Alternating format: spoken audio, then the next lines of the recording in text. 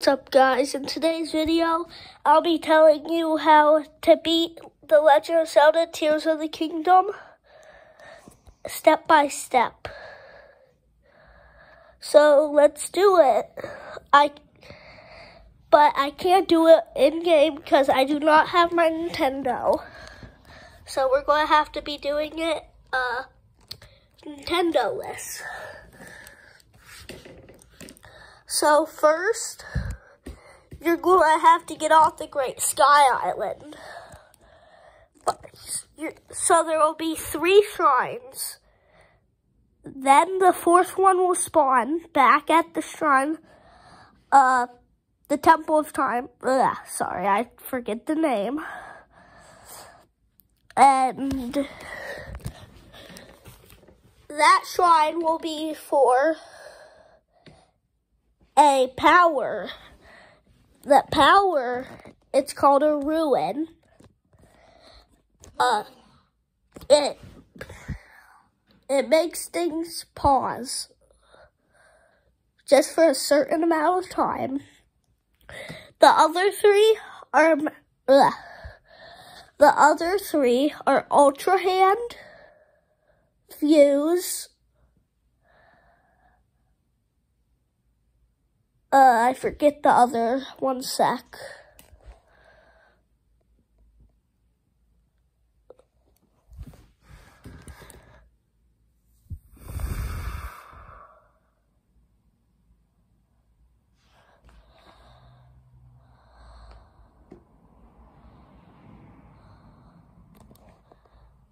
Okay, you'll find out what the other one is. I forget. Then you'll have to go to the Temple of Time. Uh, and you will give Zelda your uh, decayed Master Sword. She's going to take it and vanish. Then it will allow you to jump into a pond down at the surface of Hyrule. You will land in a pond in Hyrule Field. Then you will have to grab a, a tree branch, which should be to the right, left, and behind of you. I don't know about forwards. You will see a big Boko that is called a boss boko. It has significant, bleh, significant, bleh, whatever. You know what I was trying to say. Significantly more health than a normal boko. It should be red. There should be around four bokos behind it. And it will be very large. And then you, as if, ugh, as soon as you see it, go farther from it, you'll, you should see a skull. Just head right from the Boko, I'm pretty sure. If you're on the right of the big Boko, then you're going to want to keep going right, I'm pretty sure. Then there will be a big school. It's called an enemy camp. There will be Bokos.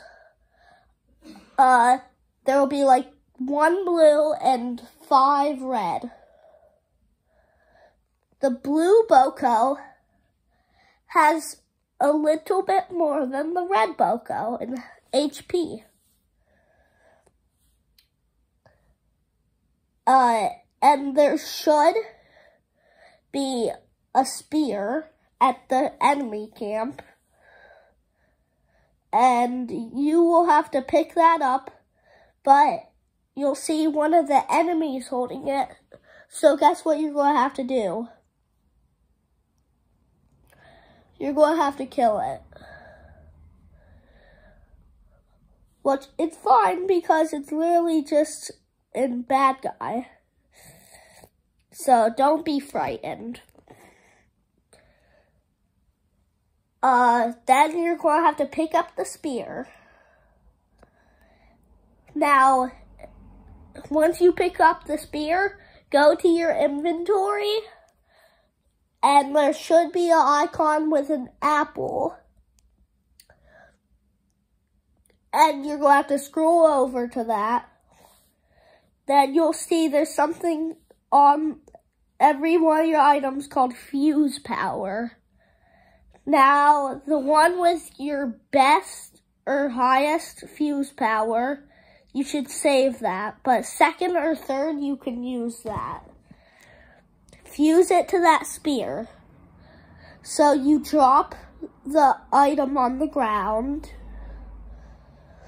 Uh, then, then you go out of the inventory.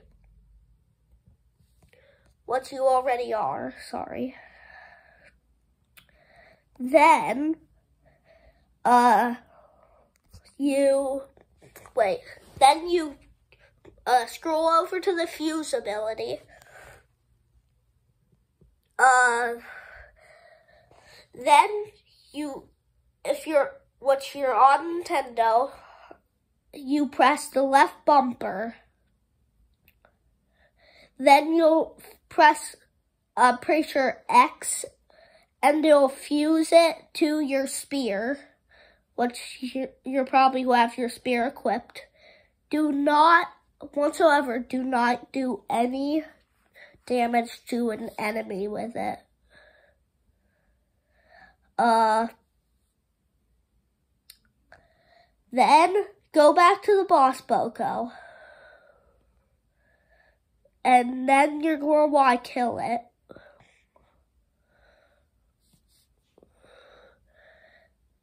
It should drop a boss Bokoblin horn. Then you're going to kill the little minions behind it, which is a Boko, for short. The real name's a Bokoblin. Then you're want you're to want to go over a lookout landing. Because that's where you're going to get your first lookout tower. But on your way, make sure to cut some grass. And if get any insects from that, then make sure to catch them. Then, once you're over at Lookout Landing, uh, you're going to go over and talk to Purah. She's going to tell you about the tower. She's going to activate it. Don't, like, as soon as you jump out of the tower, just go right back to Lookout Landing. Uh, cook four bugs uh, four bugs and one monster part.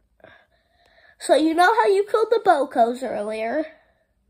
It should have dropped a Boko horn. You should put one in the pot.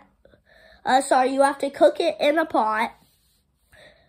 Uh, I actually I would put two or three uh three restless crickets, then one boko horn. Do that twice. Then oh, yeah. Then go over to the then you have to go over to the launch tower, the lookout tower. Uh and you have to go over to Hyrule Castle. It is the floating castle in the middle.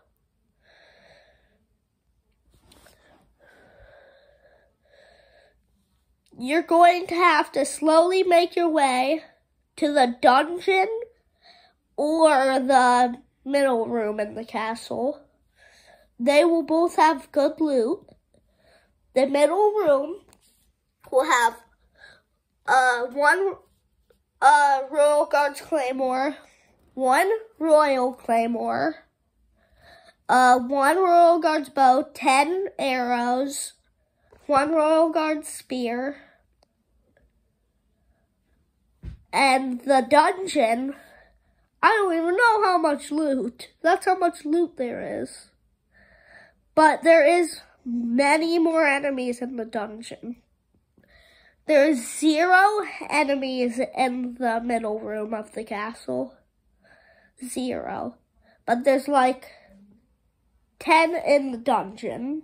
First part, I'm pretty sure. Uh, then you're going to want to go over and get the Sage Tulin. It will pop up in your quests. Then you're going to want to do Vah Ruta, then Vah Rudania then Vah Naboris. These are from the first game, but it's just where it's just in my heart that I remember them. They were so fun to do. But it's actually uh, top left, uh, right middle, top right, then bottom left. Bottom left is the hardest. It's very hard. And then you're going to want to go to get Mineru. It will be in the depths. Before all that though, before you get the five sages, you're going to want to go in the depths. It's much harder enemies, but it's much better loot. The enemies, if they hit you, they will uh, dark, they will dark out your heart, which means that you cannot heal it.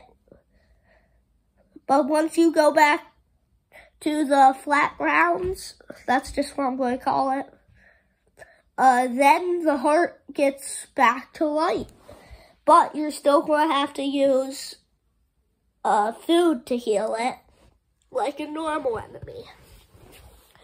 There's a certain food that you can use to heal gloom hearts.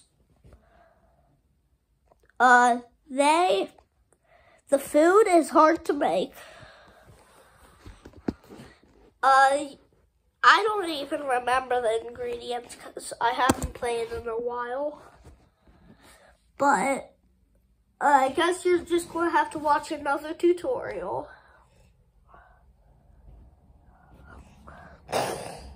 So, once you're out, then you're going to do what I just said before all this. The five sages. Then there will be a boss in the middle room of Hyrule Castle where you got all the loot. It it just spawned as soon as you got Mineru quest done. Uh, so you don't have to worry about it going into Hyrule Castle. Then, after you beat him, uh, the Gloom Ganon, I forget the names, I'm so sorry. Then, uh, you're going to have to go back into the depths of Hyrule Castle. It's, a, it's literally in the depths. It will be right under Hyrule Castle. Then, as soon as you get to the very middle, uh, there will be uh, the final boss, Ganondorf, there is four phases. Phase 1, normal. Phase 2, angry. Phase 3, uh, I don't know what to call it.